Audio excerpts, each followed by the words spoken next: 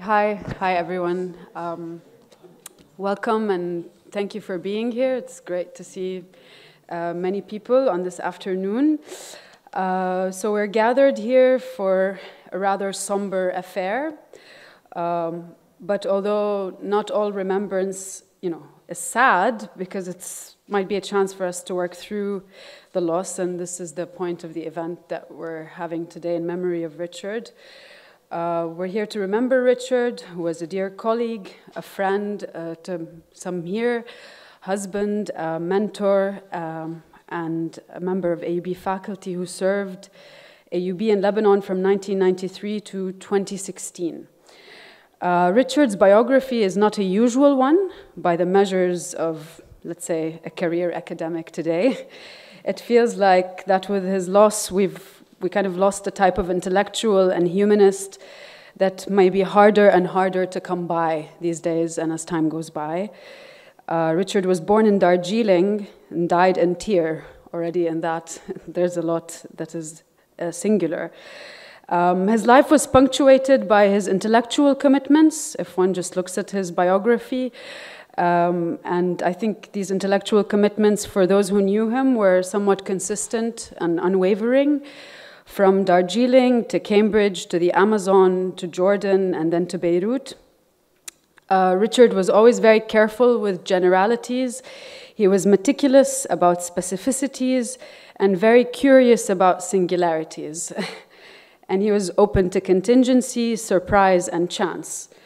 I mean, he went from mathematics to anthropology, for instance, a discipline that was dear to him because of its ability to allow for a critical reflection on mechanisms of power, governmentality, which was something that occupied Richard in his work. And I think as a student, I, I did take a course with him on Foucault's account of governmentality, which was, of course, was uh, full of loads of papers and books and lots of details. It's not just an idea. It's not. It's in the records. That's this, uh, the, the, the, kind of the, the way he approached it. So he was committed to the discipline of anthropology, which was allowed for a critical reflection on mechanisms of power, governmentality, and knowledge production. Richard was allergic to conservatism, yet he was keenly committed to understanding the ways through which norms and laws came to be set in place. And as a son of one of the last Indian civil servants or colonial administrators, Richard spent his life doing perhaps the exact opposite documenting and historicizing the myriad forms of governance, colonial, imperial, and otherwise. He is now laid to rest in Tir, overlooking from a hill his beloved Palestine, which, as Martha um, will say or probably will tell. I mean, this was perhaps a place that he, in passing, joked and said, This is a place to spend eternity. Unfortunately, um, but perhaps fortunately, he did get a spot in that cemetery. So I remember Richard as a teacher, as a colleague, and as a colleague. He had an acute sense of listening and just the right degree of skepticism that always pushed one to articulate better what they had to say. He was generous, he was considerate, he was level headed, and he was a stickler for detail uh, with a wry sense of humor. So we gather here to remember him today, and we will hear short testimonials from his wife and lifelong partner and collaborator, Martha Mundy, from his colleagues and friends, uh, Maher Jarrar and Sonja Atasi, as well as two of his uh, former students, Muhannad Hariri and Samar Ghanem. So thanks for being here and listening to the, the event as it proceeds and what people will say. Okay. Um, Martha, you want to?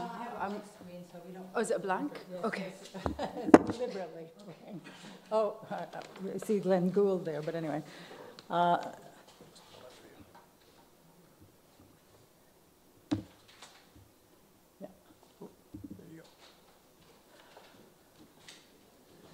I want to thank uh, Nadia in particular, and Tom, and the others for organizing this event to remember uh, Richard. In part of my remarks, I think I'll overlap a bit with Nadia, but not all of them. Uh, as you may know, Richard died from a traumatic head injury. And this prompts me, or prompted me, to reflect on what kind of a sociological intelligence was his.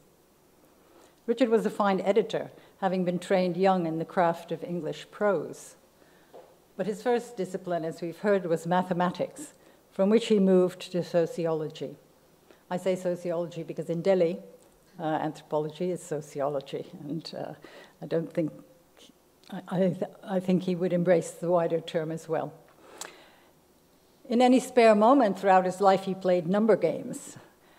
But for, for sociology, it wasn't statistics that he valued, but the extraction of pattern out of lists and sums. A modeling spatial intelligence that corresponded to his pleasure in mapping the relations of people of people to space and nature. Later today, I gather you to see a clip concerning the 1965 trip, which his friend Jonathan Ambash, Jonathan died in 1968 in Biafra, three years later after their trip, organized to the Choco of Colombia. The two hitchhiked from New York City to Panama, took an aeroplane to Colombia with a hunting gun in the plane, by the way, and from the coast went upriver with local boats. A documentary was later made concerning what they had done and left. Perhaps it's from this that you'll you are to see a segment. But by then, conflict, in which, of course, the USA played its role, meant that the latter day filmmakers were not permitted to go upriver to the Choco. Richard was ashamed of the characterization, characterization of their trip as an expedition, but fond of the music and images that the two had recorded. He had a musical culture. Richard had played the violin quite well, but stopped on going to India, where he came to understand, but not to play, classical Indian music. Thus, it was not, as he put it, bows and arrows anthropology, in which his close friends Stephen and Christine Hugh Jones were in fact to excel, that he would come to pursue, but as Nadia has uh, implied, but, but through both love, love of a girlfriend, of his professor Jeet Singh Uberoi, both of whom were Sikhs, or are Sikhs, are Sikhs still alive, and anger, he would strive to dissect the sociology of the Raj, during the last years of which his father had served and into which he had been born. His birth certificate.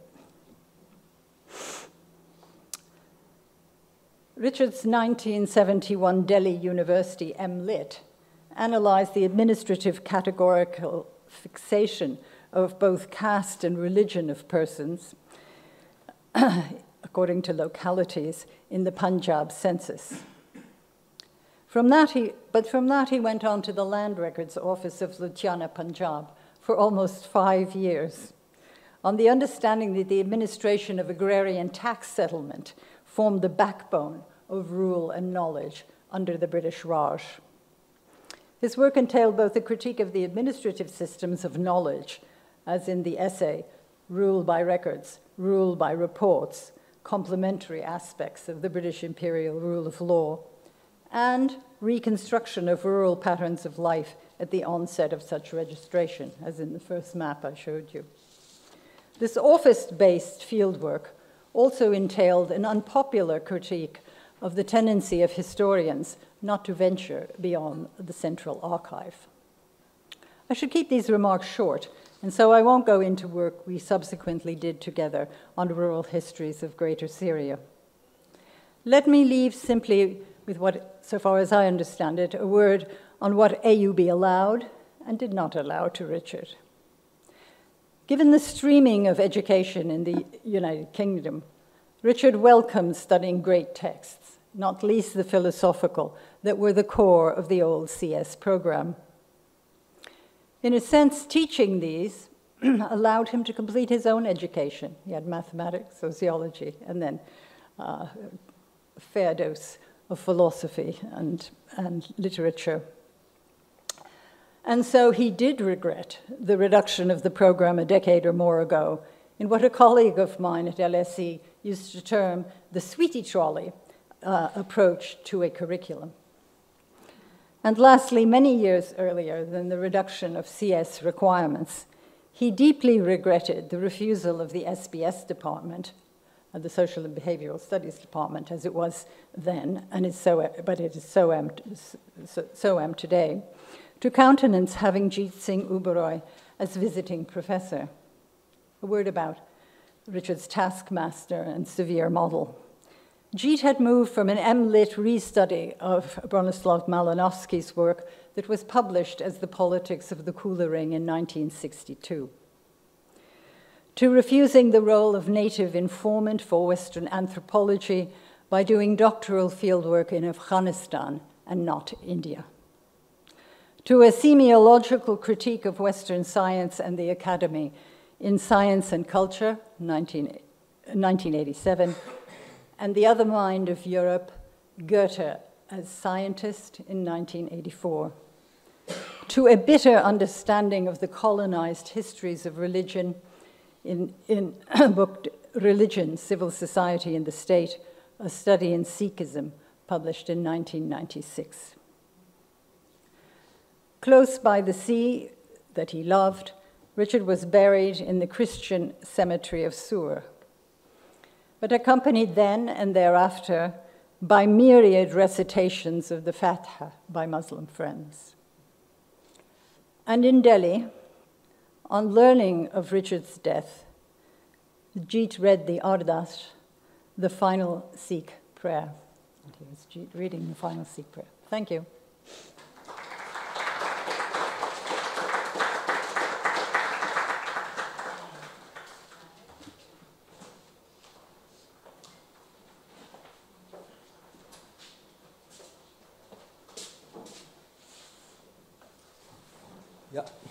Good afternoon. I've written this afternoon some thoughts, so I'm going to read them and then I'm going to distribute one of the lectures, a handout of one of brilliant lectures used to be given by Richard. Now I'll talk about it in a minute. And I start directly by saying Richard was a dear colleague. I won't say a friend but a very dear colleague whom I miss a lot, and I think most of us at CVSP and this university miss a lot. Richard was genuinely warm individual, brave and compassionate, although it took me some time to understand his manner, his approach. Uh, he, at some points at the beginning, and I'm going to talk a little bit about it, uh, one thinks that uh, uh, uh he's a little bit perhaps uh, uh, not very friendly, if I may put it this way. But then I discovered he's very honest and very passionate. When I joined CVSP in 1998, Richard had been already there since 1993. So I started then attending classes with my colleagues in order to recapture the spirit of CVSP.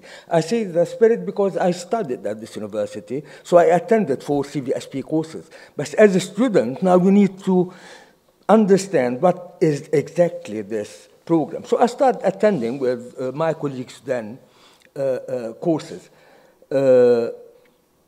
To learn more about the sequence, as we called it, and observing both teachers and students. So I visited Richard's classes oftentimes. And I'm proud to regard myself as uh, uh Richard as my mentor. Richard clearly formulated the objectives and requirements of the course at the beginning, uh, beginning of the semester. He started off with an informative and inspiring humanistic, I would say, introduction, focusing on the meaning of civilization, and I'm coming to this in a minute, and uh, uh, uh, uh, the resonant role of the human being in making cultures. Richard approached teaching as a true partnership between teachers and students, between himself as teacher, very much involved and engaged, and students. He was permanently well prepared, enthusiastic, and his classes were disciplined, yet challenging, if I may put it this way. In fact, it took me some time to appreciate Richard's way of thinking towards different venues of our work together at CVSP and his particular approach to things. Richard was a genuinely honest and passionate person, as I discovered with time, who defended his ideas with consistency, especially when he is arguing a cause of general interest for CVSP or for the community at large, and especially for students, or when debating an intellectual matter or proposing an idea or a new model. With time, I learned to understand his temperament as that of someone who unpretentiously stood by what he believed was righteous and as a means of common good.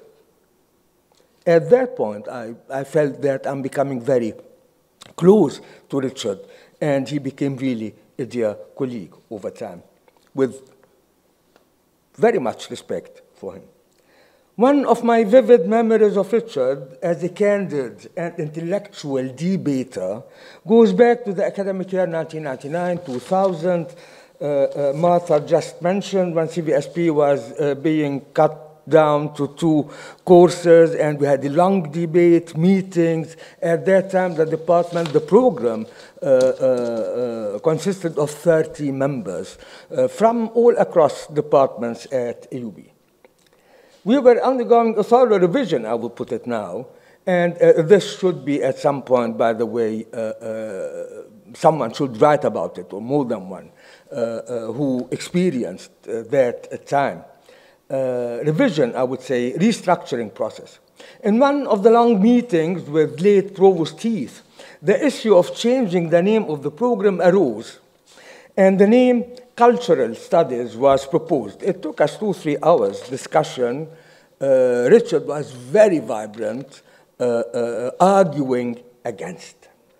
I still recall Richard's astute intellectual arguments for keeping the term civilization and encountering the more idealistic German term Kultur.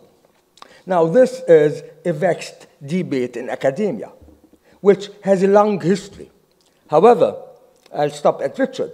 Richard's worldview was more anthropologically based, and he was trying to bring the discussion towards a global south approach, not only civilization, uh, uh, French, afterwards uh, British, and culture, uh, the more idealistic, as I said, German. He was trying to bring the whole thing to here in Lebanon, where we where he teaches, where we teach, where CVSP is a very important uh, uh, program in the forming of the education, intellectual education, mental education of students.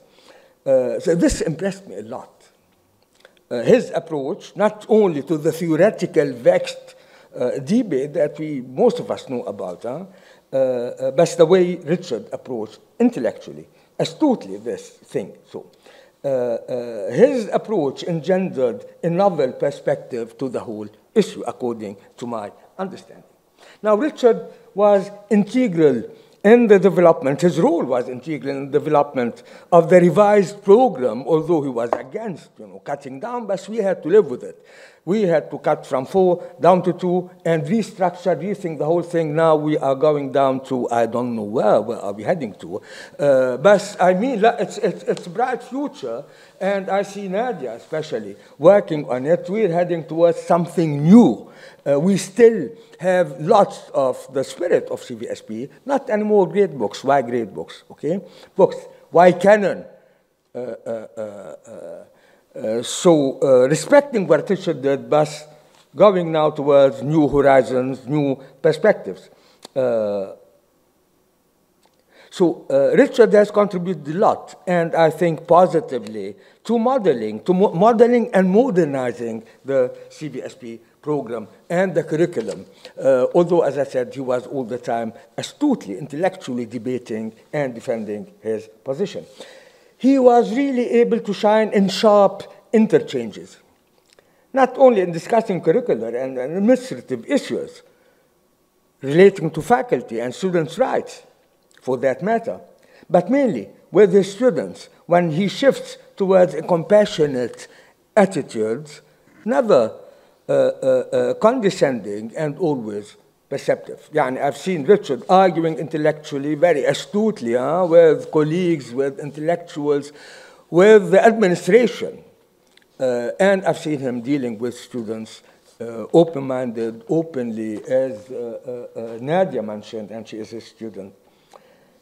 I still can see him now sitting on a chair in his office, the keyboard on his lap, and he briskly, I would say, configuring his research results as a basic DOS. He never used Word, uh, uh, up to my knowledge. Huh? I would go inside, and he says this thing, and he's running on the thing, and I would ask him, Richard, where is the computer itself? Yani? He would laugh, he would smile, his, you know, his, his bright smile with, with his teeth, and says, This is DOS. Uh, so, uh, uh, never using more or more, uh, uh, never using word or more elaborate versions for that matter. To my mind, and I respect him as a very dear colleague, Richard might have been a bit difficult, to my understanding. But through his dignity, honesty, and grace, Richard endeared himself to many around this university, many students. I, and I truly miss his presence at CVSP. He helped build a sense of community at CVSP. Another vivid memory, which will never fade away, was the opportunity to enjoy each semester. I made it point each semester to attend Richard giving his very cunning lecture on the Odyssey, on Odysseus, weaving a design. And perhaps we can uh, uh, please take one and uh, By the way, I tried to find the video. We used to have the videos at TSP. Thanks to our clever secretary, we're using the videos. Uh, I lost at least my uh, uh, video on Marx. I was trying to find the Richards it used to be on Google as well. Huh? They just disappeared. It would have been lovely to hear, to hear Richard giving the lecture very passionately. Uh, and it was then I knew it was passion. So let me, I'm finishing. Uh, so I never missed this opportunity to enjoy each semester by attending his cunning, very cunning lecture on the Odyssey. This has always been a wonderful experience both on the intellectual level and the acoustic, hence the spiritual. Richard, in a sense, is shy. He's very honest, he's shy. When he gives his lecture, he's taken with the lecture, and his voice betrays his passion.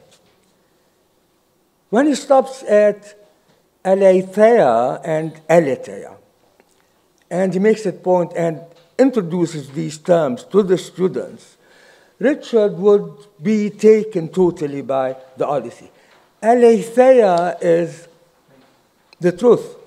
It's uncovering, unveiling, but it came to be meant as truth. And Aletheia is wandering. And I think this is the life of uh, Richard, as Nadia have said, as Martha have also mentioned his own odyssey from India to South Lebanon via Europe, his Nostos, journey back to Tyre.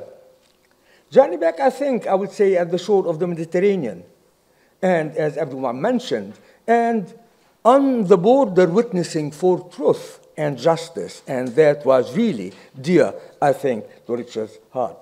For me personally, it has been a joy and a privilege to have known Richard, to have been a colleague of Richard. This is particularly difficult and painful time for Martha, and we all, I myself, extend uh, my heartfelt condolences, and but Richard will still, I think, be, remain a dear member, a dear colleague of this university, especially of CVSP. Thank you.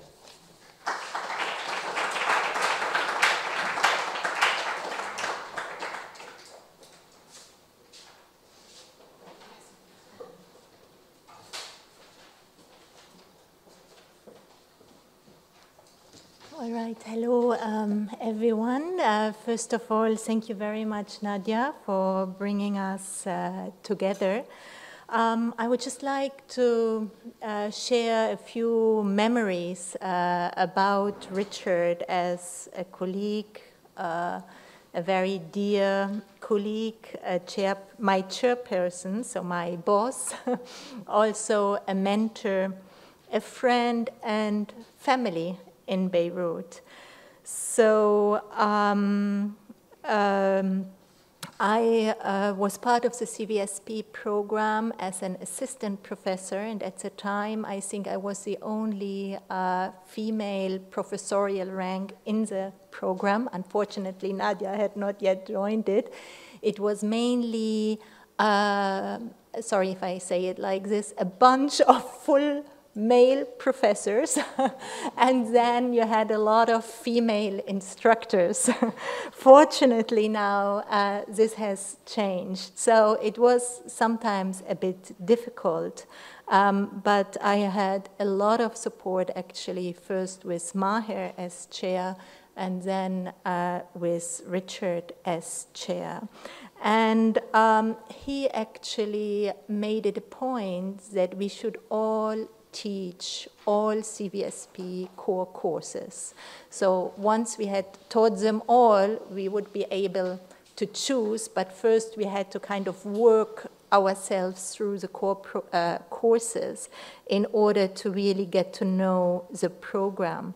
And I think this was very good training, and um, maybe it allowed me, like him also, to educate, to teach myself. So this is something that Martha pointed out earlier.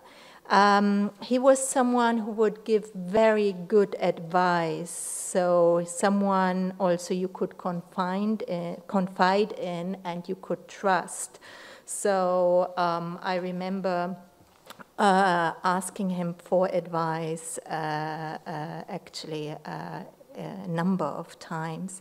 As was pointed out, he had a very dry sense of humor, which would really make our lives so much uh, uh, more pleasant at AUB and in Beirut. Um, I remember when I went up um, for promotion from assistant to associate professor.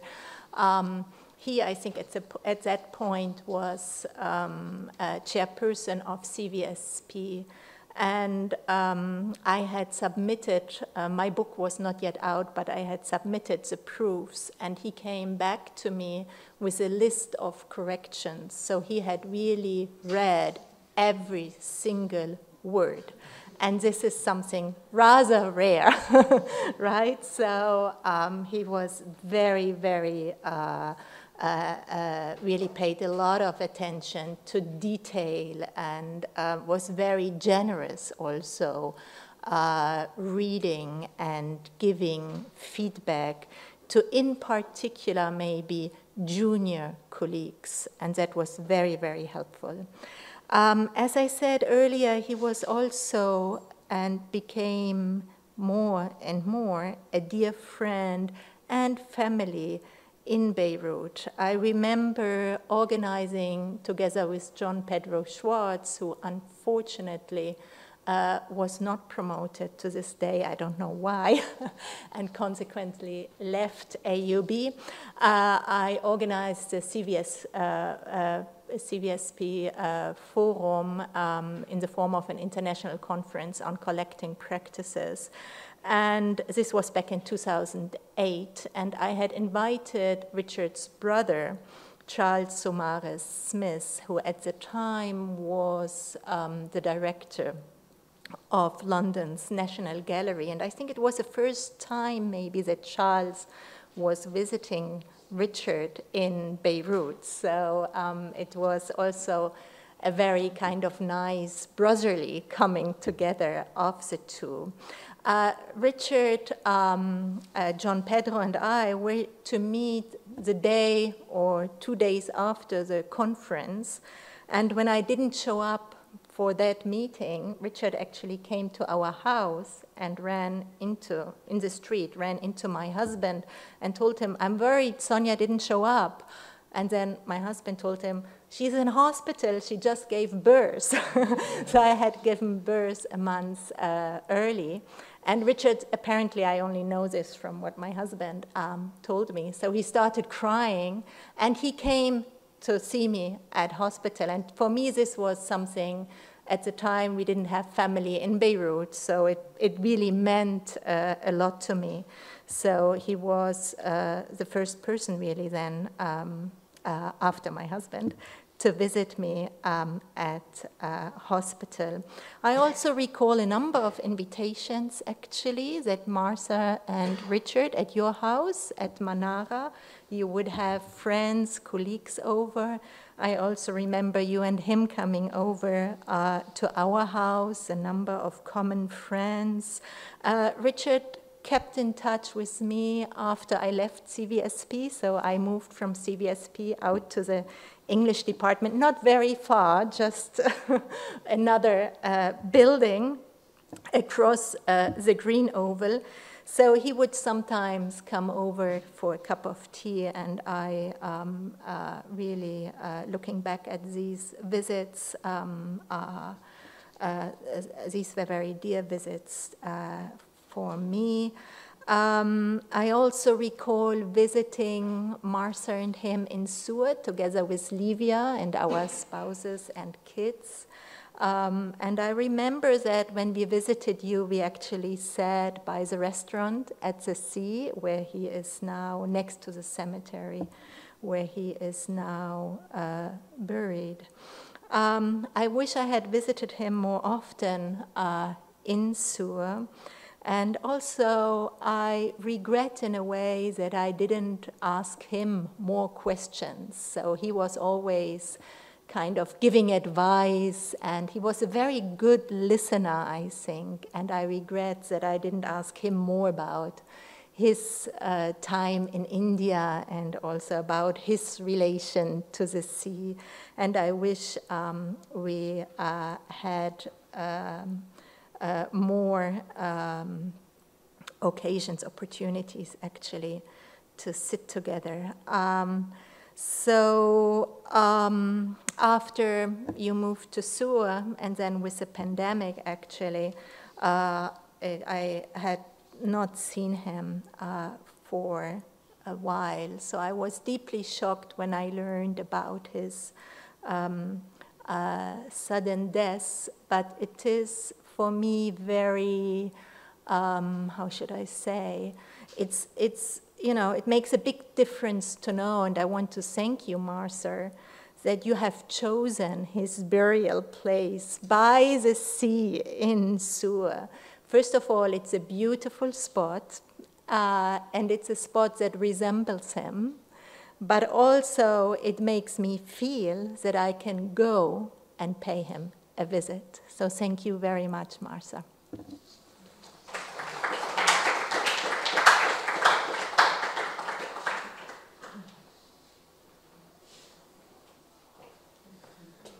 Hi.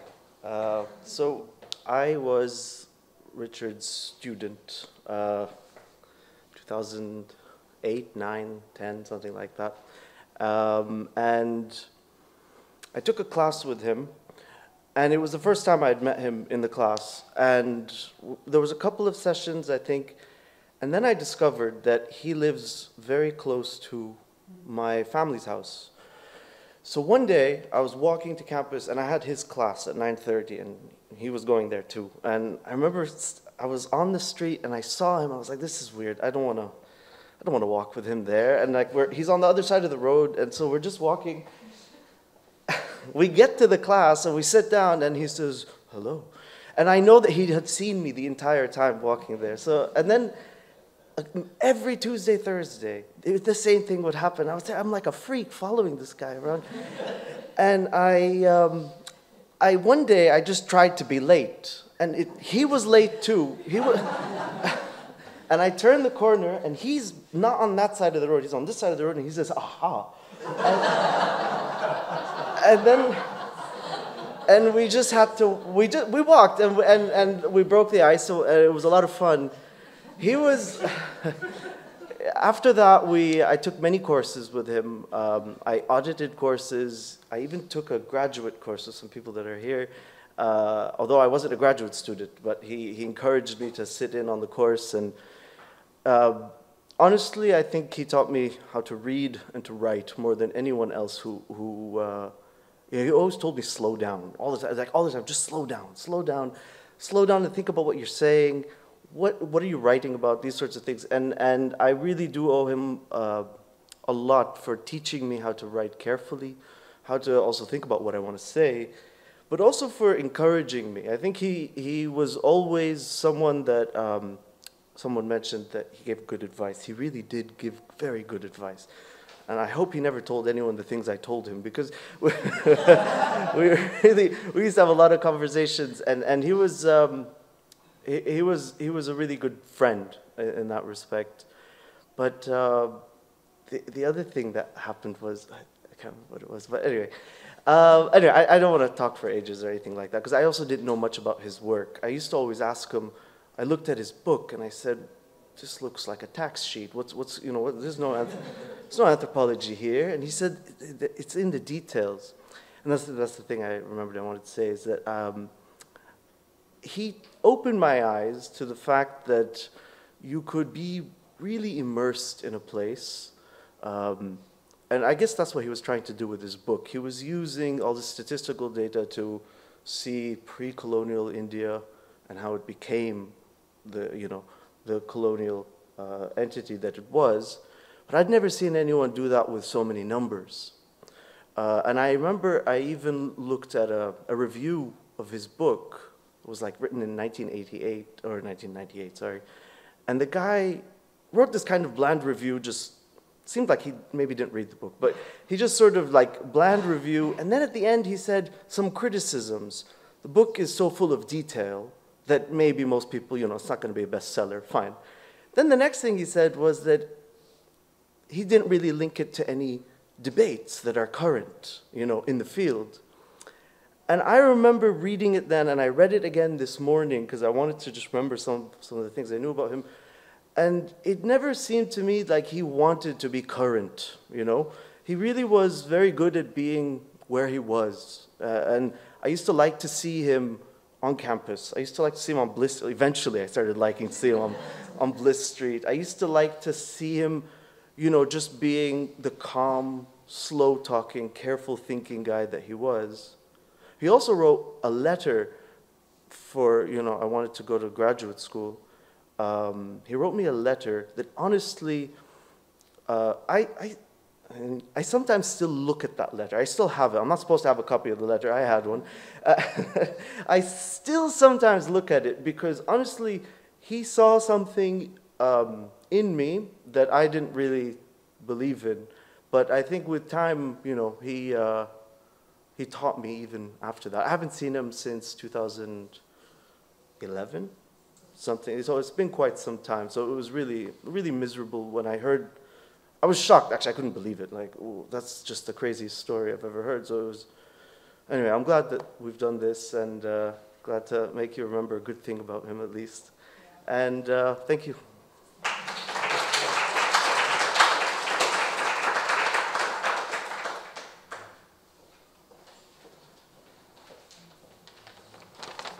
I'm not so good with the public speaking and the words like Muhannad. So um, and I were actually in the same class with, where'd you go? Richard, yeah. Uh, since you all know him, and I, I, will allow myself to be a bit nervous. Um, I only took one class with Richard, um, so uh, how much I knew him was way beyond that uh, particular class. Um, I would say more, more privately as a mentor. And I actually think most people, most of my colleagues at the time or classmates at the time probably had no idea that, um, that I was close to him beyond that um, one class that I took. Uh, and that he was someone that I visited often, so you know, uh, everyone's saying the same thing, that he was, and uh, he listened, is someone you could confide in, that you could trust in. Um, and for me, uh, personally, someone I just uh, gave me happiness to see, um, and it is someone I wanted to see often on campus. Um, so it was a very small class I first took with him, anthropological theory, uh, as a grad student. Muhannad and Sarah, I don't know if she, yeah, were in the class together and one more person. And I think it was one of the most foundational courses that I, and enriching courses that, um, that I took. Um, uh, it, it, was different than any other class I had been to. My background was also not anthropology, so it was uh, really the first kind of uh, theoretical course I took. Which, come to think of it, I don't know how I made it into the grad program without a strong theoretical. But anyways, here I am now. um, uh, so it was different, and it's uh, it's where I was really introduced to the discipline really well, and also really introduced into Richard, really outside of the classroom.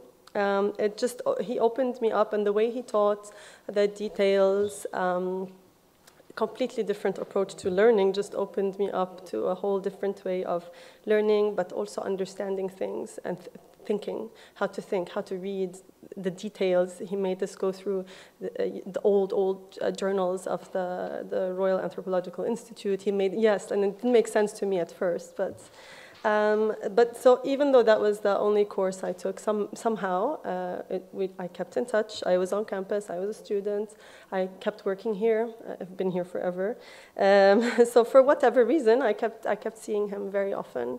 Um, and I can't say exactly why, but he became uh, probably the only person or uh, two people that I, I, really trusted and that I went, uh, I went to uh, I went to regularly. Uh, um, you know, I would see him after uh, my work or in between my breaks, or um, uh, to, to, for all sorts of advice. Again, uh, opinions, direction, and in all kinds of matters that uh, had to do with so many things: student activism, issues with the administration, grad school, you name it. And at the time, I was a really active student on campus as well, uh, politically active. And even when I started work, I was. And, um, uh, and there was like a, so much value in, in seeing him and getting direction from him. Um, I, I, trusted him a lot, and uh, uh, his words meant a lot, but oftentimes his silence also uh, meant, uh, meant a lot as well. Um, um, he was a lot of support to a lot of people. Everyone has said the exact same thing, that he was so supportive and um, he was very patient, very kind, incredibly generous um, with his time and with his support um, and with his guidance. He also guided me through grad school applications, um, calming a lot of panicked moments. Um, and so, and through that, really, he taught me directly and indirectly this value of patience, of critical observation, uh, and also confidence. Uh, you know, to have some sort of a bit of confidence when I was navigating, especially teaching for the first time. Um, so don't quote me on this, but I have this distinct memory of being very nervous as a first-time teacher, and I'm, I'm not sure what to do. And I, am pretty sure he said like, sometimes you just have to wing it, like, and just go go with the flow. And it's something that's still in my mind till the, uh, for now. Um, and so his humor is also mentioned a lot. Um, something that I really cherished. Uh, I really, I don't think uh, that there is anyone in AUB that I, I, I enjoyed spending so much time with. Uh, nor did I uh, spend that much time with anyone uh, in, in AUB. Um, so, it, you know, it, it made me happy. This is a bit centered around our, our experiences and our memories of him. Um, uh, it was fun. I, I, couldn't think of a better word, but it was, it was fun. Um, something I really enjoyed. It was. I always looked forward to it. It always made me happier. It always made me uh, feel better, more hopeful. I, I, uh, I, can't really explain it, and I, I, I hope he enjoyed partially, at least, these interactions as much as I did. Uh, I would love to say that this kind of continued, but you know, life kind of gets in the way. Um, I had a child, there was a pandemic, so on and so forth. And the last time I saw Richard, I was actually really heavily pregnant, and uh, I saw him on campus, and I, I just uh, I ran to him and I hugged him, which I was surprised that I did at the time, but I did, and I, I'm glad I did. Um, I knew how he was doing because of a mutual friend that we had, so I, I always knew, you know, how he was doing. Uh, but I did, I was shocked like everyone else, and I felt a deep loss um, because we tend to take for granted that, that people will be around. Um, actually, I, I, was planning with this mutual friend we were talking about uh, visiting him on his next, on her next trip here. Um, but I am really happy to be at least being able to share this with um, people who knew him, uh, people who cared about him, people who loved him, um, and just really grateful for the impact uh, that he had uh, on so many people, but uh, especially on my life. So, thank you.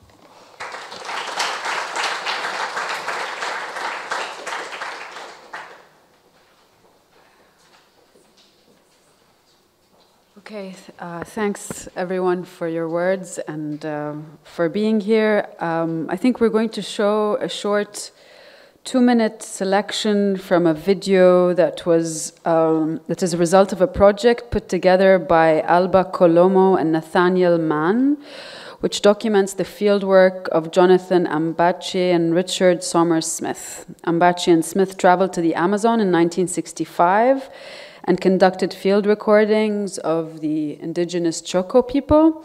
And the clip is of Fausto, a community leader of the Choco in 2014, speaking about and reflecting on the pictures and recordings uh, that Richard and his friend had put together.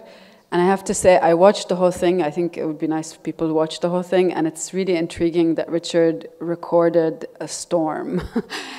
and you can hear the his fellow traveler telling him, "Why are we doing this?" And you know, he's, the sound of the storm is something that I think is, is, is you know is quite interesting in this clip. Thomas, do you want to say something? I mean, Thomas has organized all this. So put the clip up, yeah. and if you guys want the video, I can send, send it along yeah. um, afterwards. So that way everyone can see the whole thing. But this is a two-minute clip. Mm -hmm. Yeah. Um, I don't know how to do that. Oh.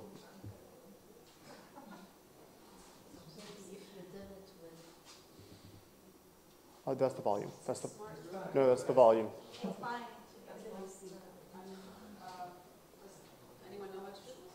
Oh, can you turn that one back up though? That's the volume.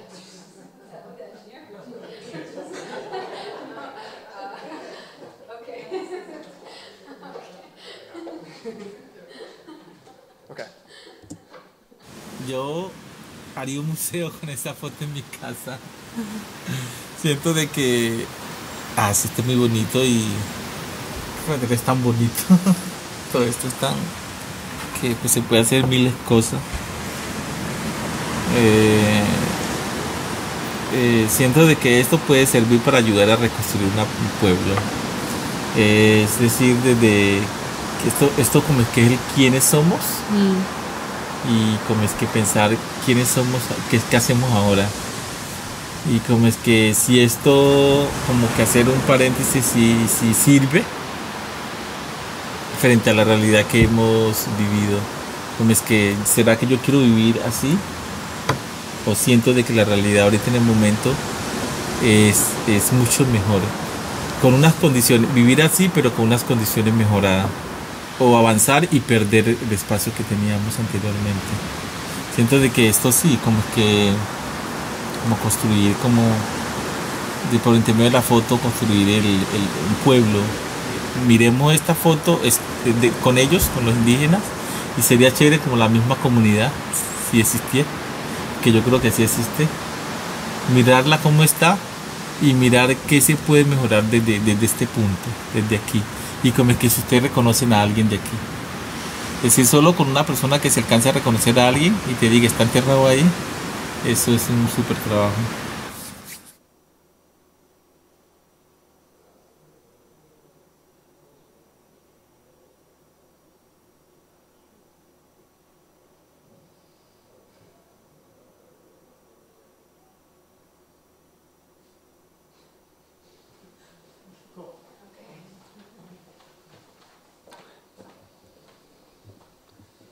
Right, uh, thank you, everyone. There are snacks and drinks outside. Please help yourselves.